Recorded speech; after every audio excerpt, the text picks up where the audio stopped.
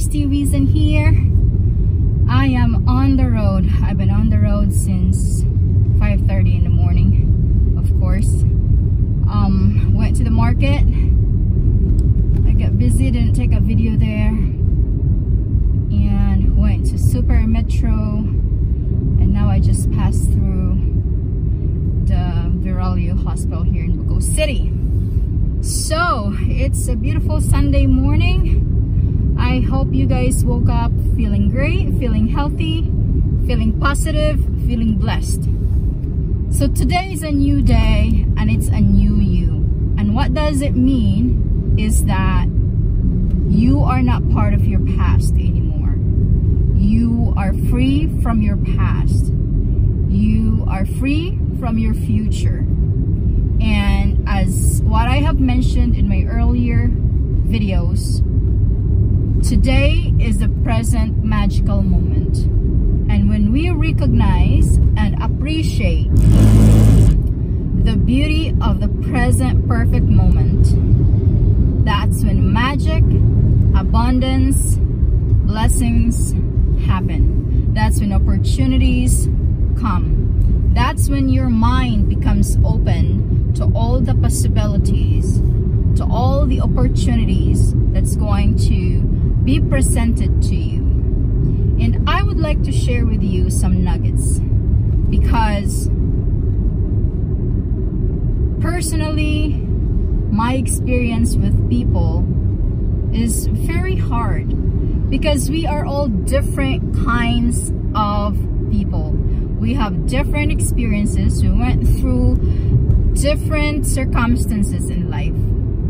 But your circumstances does not define you. It's how you respond. It's how you react to those circumstances. I admit it, it's hard. It is freaking hard. You can be depressed, you can be frustrated, you can be suicidal, you can be a killer, you can pretty much be the devil that you can be as a person but always remember there's also the good God in you. That we are all the polar opposites of each thing. There could be good in us, there could be bad in us.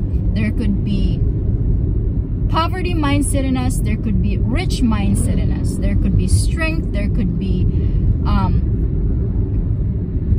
fear, there could be worry, there could be there could be all sorts of negativities, but it is also paired with positivities in life. And that's just the law of nature. Why things happen to people?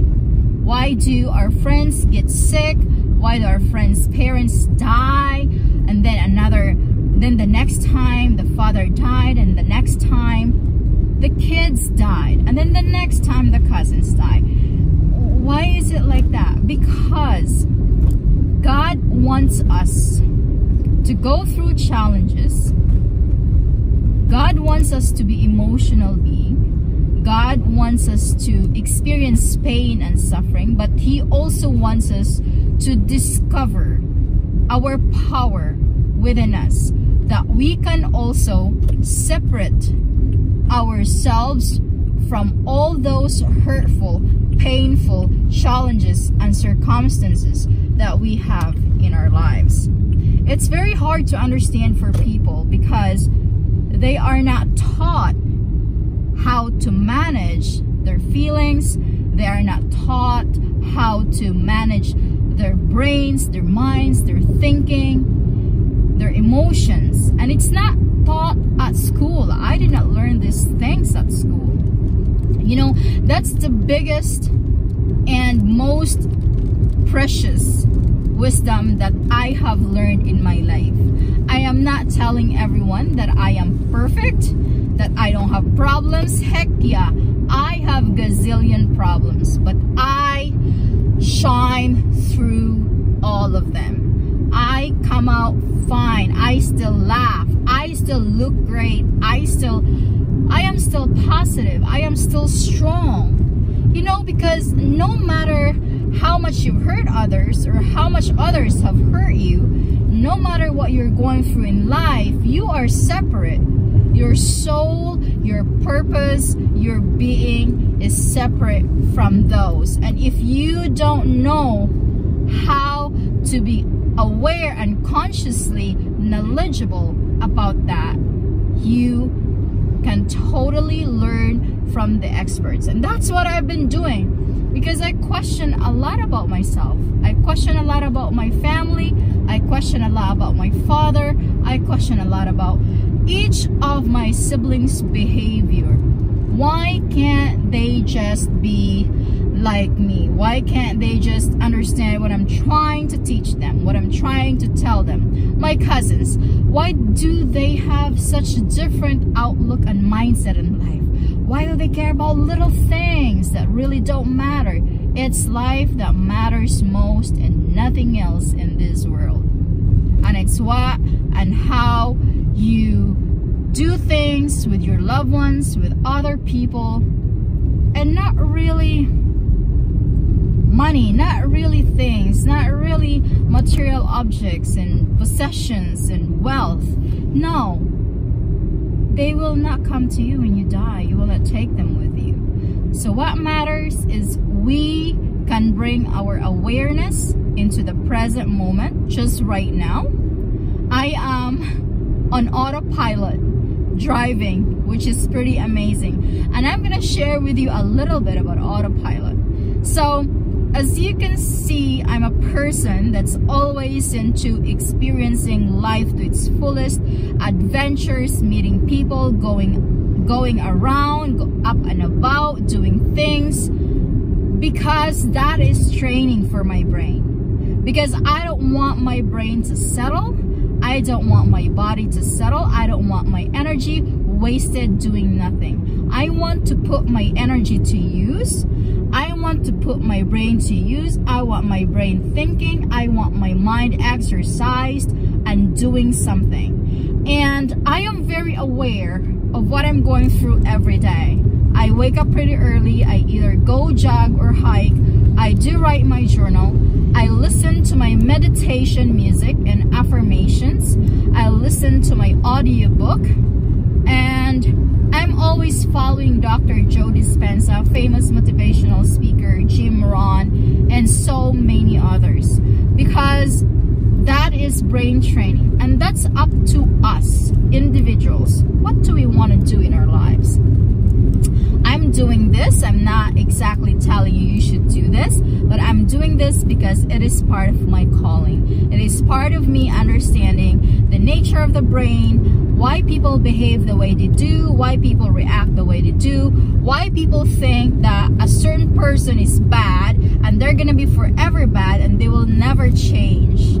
Why people can't forgive, why people can't be kind to other people, why people are greedy. I'm just understanding the psychology behind human behavior.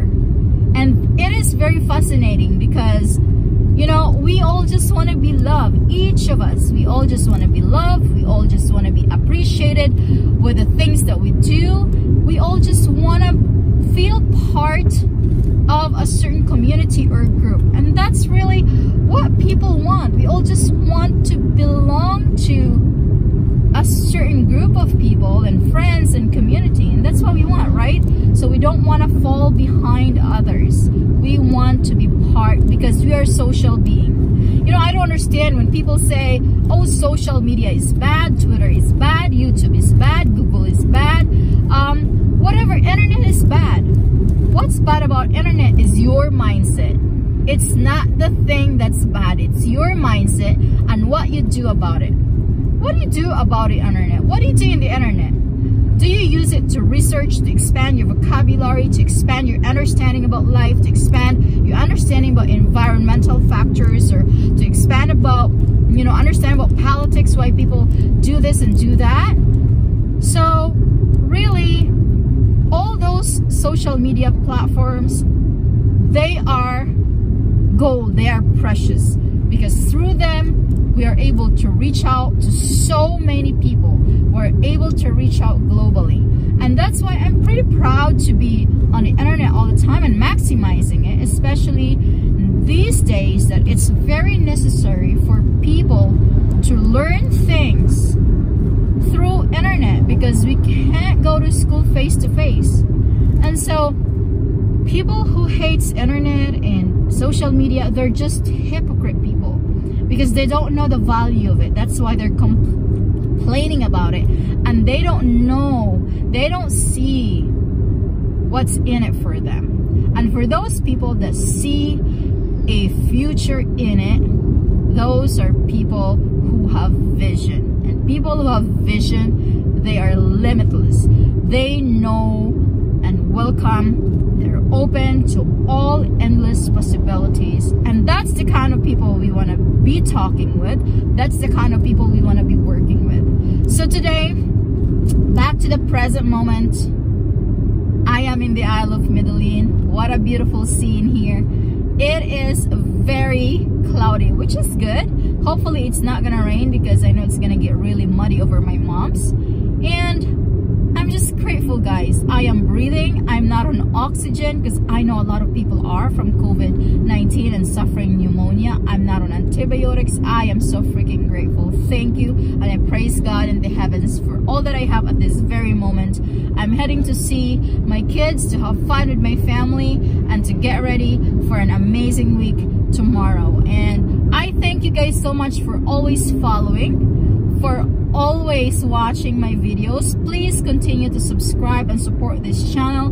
Christy Wiesen here guys in the Isle of Medellin northern Cebu Philippines. Look at this view here. Fantastic amazing and I'm grateful. Thank you guys so much for watching. Live your best life with no regrets. Don't ever regret a damn thing in your life. Just live life to the fullest. Be kind be positive forgive forgive forgive forgive and just love. And always do the things that matter to you right now today. What matters to you today? And don't worry about tomorrow because if you do the right thing today your tomorrow would always be provided perfect and it would be amazing. Thank you guys so much for watching. Once again Christy Wiesen here. Live your best life. Goodbye